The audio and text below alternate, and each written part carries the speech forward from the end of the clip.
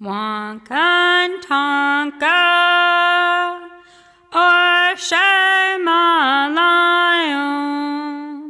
I'm a spirit on a human journey. I'm not a human on a spiritual journey. The art that I create is for therapy and healing. It's for mental health. It's to slow us down.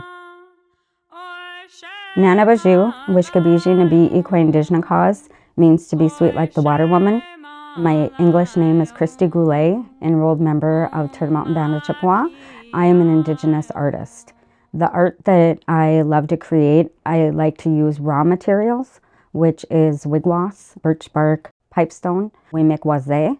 If you take sandpaper and rub it on the pipestone, it makes a red powder. And if you mix bear grease with that, it makes red paint. And so I love using indigenous raw materials in my artwork. I keep a notebook on my headboard, and sometimes I'm giving uh, given a very profound dream.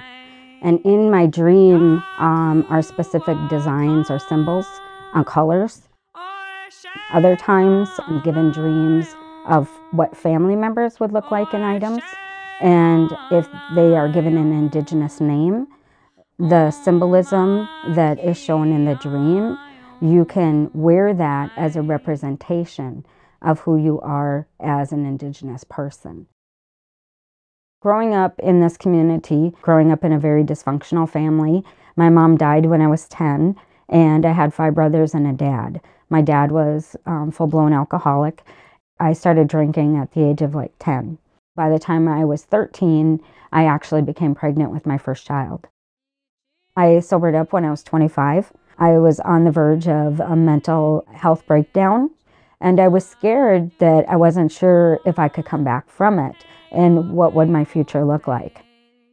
And I said, if I'm going to help my life become better, I need to get sober and I need to acquire skills. And that's how my first outfit came together was a fancy shawl outfit and it was traditional Ojibwe floral design with pastel colors. And so that's where my very first outfit started. From there, you have to really kind of learn to be self-taught as well because you have to be able to get up and acquire those skills and practice makes perfect. One young lady who came to one of my ceremonies, who is from the Mille Lacs Band of Ojibwe, after the ceremony, she had a dream that night and she saw herself in a dress. That specific dress, just because she was still in high school, took us a couple of months because I have to teach them how to actually sew.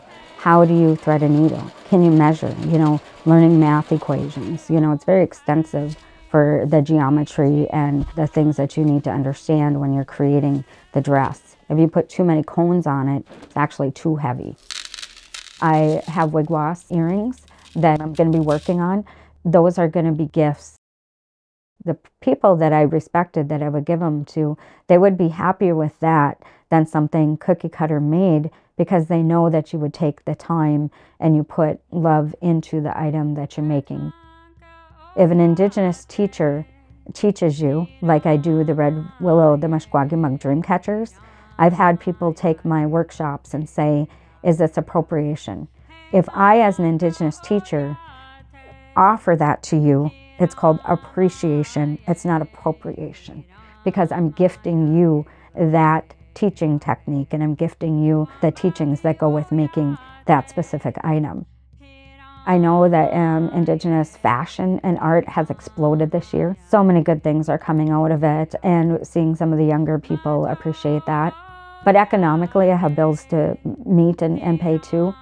There's controversy right now in the powwow circuit because there are a lot of Indigenous people buying Chinese products and selling it. Be aware and get to know the individuals that you're supporting that are selling art or making art so that you know that it's authentic. Read labels. Some things like uh, Dreamcatcher kits that are sold in stores locally, those come from China. They're not indigenous to Turtle Island, which is North America. So I'm always amazed at how the spirits do things.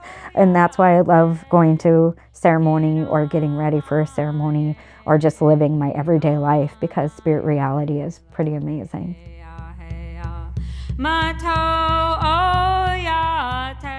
Funded by the Minnesota Arts and Cultural Heritage Fund with money from the vote of the people of Minnesota on November 4, 2008.